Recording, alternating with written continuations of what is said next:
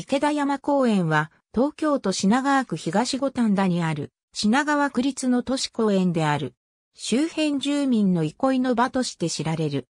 当地一帯は江戸時代は岡山藩主池田氏の下屋敷があったところであり、付近一帯の高台は池田山という名称で呼ばれた。廃藩置県以降も池田氏の屋敷として使われていた。やがて池田山付近は宅地化され、邸宅が立ち並び池田さんは山の手有数の高級住宅街として知られるようになった。また、池田山公園のあるところは、池田家の下屋敷の奥庭の部分であった。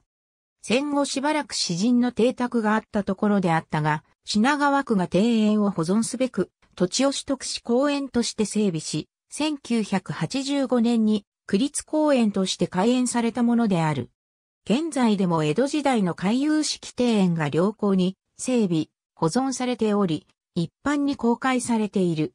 池田さんの高台を生かした高低差のある公園で池や滝を中心に江戸時代の回遊式庭園を中心とした作りとなっている。また、徒歩5分ほどの場所にネムの木の庭がある。品川の公園平成27年度版。ありがとうございます。